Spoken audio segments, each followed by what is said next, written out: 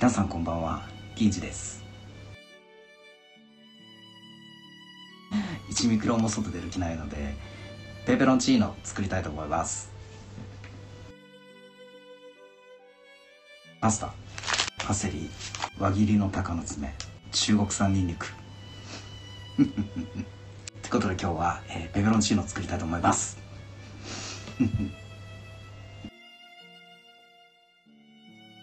ニンニクから切っていきたいと思います。5かけぐらいいこうかな。切りいいところで今日はね半身浴もしましたからめちゃくちゃ乾燥してるんですよね。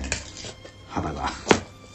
最近ね桃江ちゃんの動画ばっかり見ててびっくりしたのがあのゴールデンフライトのあの愛のトワイライトを歌ってる映像があったんですよ。検索したら。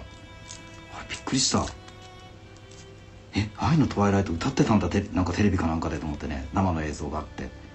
ちなみにこの黒い包丁はなんかすごい切れ味よくてあのアマゾンで買アマゾンで買ったんですけど紹介したいんだけどまあ買いたてだからといえばそうそれまでかもしれないけどめちゃくちゃ切れ味いいんですねこれ。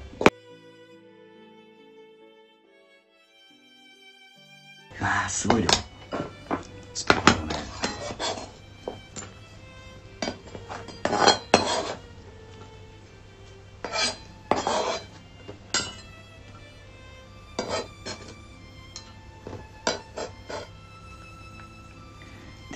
にんにくっていうのはあの玉ねぎとかと一緒で切ってからしばらく置いてると香りが増すらしいんですよね。もしくは電子レンジに入れて少し加熱するとぐわーっとすごい香りがいっぱい上がってくるみたい。でもめんめんどくさいからしません。いやらしいさあハルトバイエルンも買ってるんだ。これもね全部は多いな。むちゃくちゃ美味しそう。でもねウインナーっていうのは発がん性物質がすごいいっぱい入ってるんですね。ベーコンと一緒で。加熱すればするほど発がん性物質が大量に放出されるらしいです。まあ食うけど。だとしても。ペペロンチーノの素晴らしいところはおおよそ具がこれだけで済むってこと。あとはまあこのエクストラバージンオリーブオイルを買ってきたのでフルーティーでまろやかな味わいだって。かコレステロールゼロ。ちゅうことで一旦ここで、えーこれでねあの下ごしらえのオイルを作りたいと思います。はいじゃあ早速ソースを作っていきたいと思います。ソースっていうかなんだろう。ニンニクを炒めるちょっとたっぷりのオリーブオイル。に先ほどカットしたニンニクをインします。これはもう火をつける前から入れますね。でちょっと火力を強くしてむちゃくちゃいい匂いがする。でちょっとグツグツしてきたらあの焦げないように火力をちょっと弱めて弱火でじっくりニンニクに火を通していきます。ちょっといい感じにニンニクが色ついてきたのでここで鷹の爪を輪切り唐辛子を。でですね俺は辛いの好きなので結構多めに入れてます。そしてアルトバイエルンも入れていきます。ということでまあこれぐらい色ついたらもいいかなって感じで一旦これはお皿に取ります。でコンロが二口の家の人はねこんなことしなくていいんでしょうけどうちコンロが一口しかないから別々に作るしかないんですね。だから茹で上がっ茹で上がった麺とかと一緒にここここで本来なら混ぜたいんだけどそれができないですから一旦ちょっとこうして取っておいて一応ねいつもはここでここでバキって割ってるんですよ2つに。だけど今日はちょっと見栄えを考えて割らずにいきますね。ここにバスソルト用に買った 甘塩を入れます。あっちまあ本来ならコンロが2口あればねここでパスタ茹でたやつはバシャッと鍋フライパンの中に入れて合わせられるんだけどちょっとできないのでお玉一杯分のえー、一杯一杯半分くらいのちょっと茹で汁をここに取っておいてこれで合わせていきますね。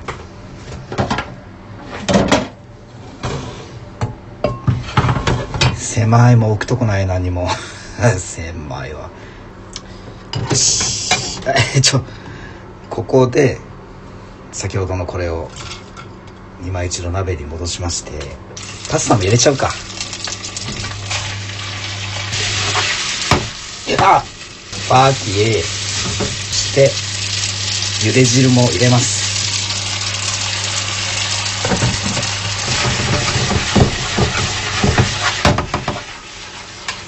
あ熱っキッチンが広かったらなもっと。これパセリも。あめっちゃ大量に入ってた。もう。バジルバジル感が出てくるぐらい大量に入ったわ今。胡椒も入れます。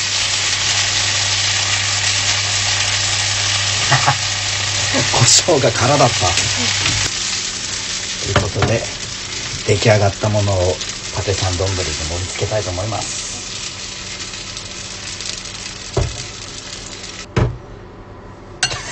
なんか残飯みたいなんだけど大丈夫ですか？全然綺麗に盛り付けられないんだけど。よし！できました！銀次特製のニンニク5かけ入りペペロンチーノ。できました！ワーキー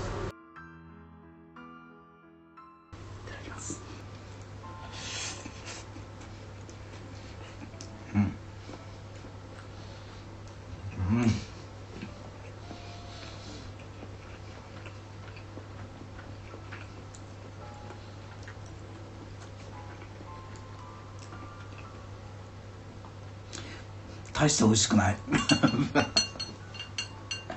うん。アルトバイエルンがめちゃくちゃ美味しい。塩味がやっぱ足りないですねこれ。アルトバイエルンだけめっちゃ美味しい。今週はもうねずっと桃江ちゃんの動画ばっかり見てたな。一日中。で邦子と共同のあの共作の漫画をね今日は一日ずっと描こうかなと思ってもう外も出かけないし、うん、ぜひ皆さんねあの俺と邦子の共作の漫画が完成した暁にはいいねとかリツイートしてくださいね。で俺はあの 恋愛にまず興味がないんですよね自分自身が。だけど書いてる漫画全部恋愛ものなんですよ。だからまあもう一つの世界線に生きてる自分だったらきっとこういうことしたかったのかなというような思いを込めて。一応この漫画のストーリーが2話までできてるんですね実は。で今書いてるの1話なんですけど本当に見てもらいたいのは2話なんですよ。2, 話なんだけどまあまだまだ先になりそうだから完成が。スローペースだからお互い邦子も俺もね。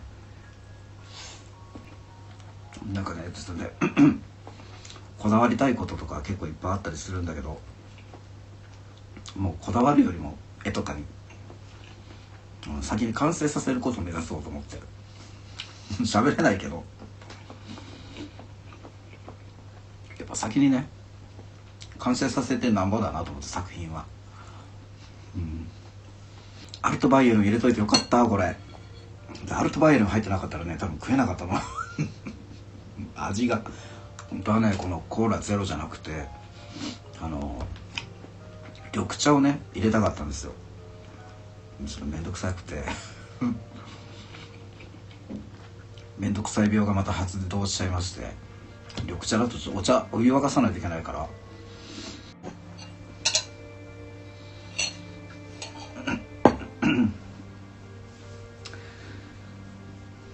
味しくなかった。アルトバイエルの方死んでたわ本当。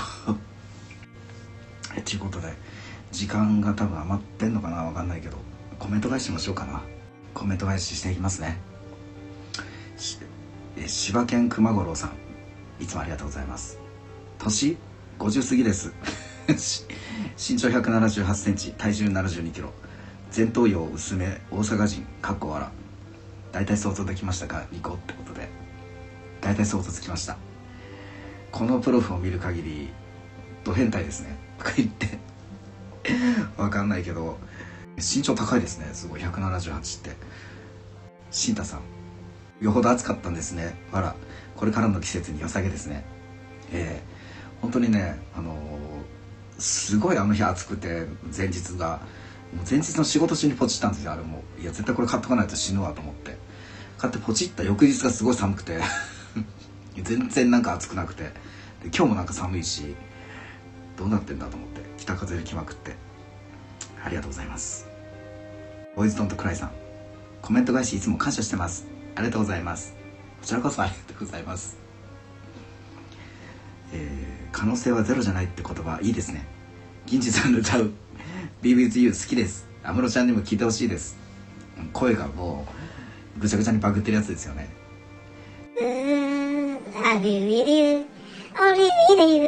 出たわ。出てないけど。ということでまあありがとうございます皆さん、えー、ペペロンチーノ気持ち悪い。美味しくなかった。失敗。二度といいねでもニンニクとかパセリとかアルトバイエルンとか残ってるからなんか別のもの作りますね。また。ベーコンもあるし発がん物質性のものばかりだけど。っていうことで皆さんまた次回の動画も見てね。じゃあね。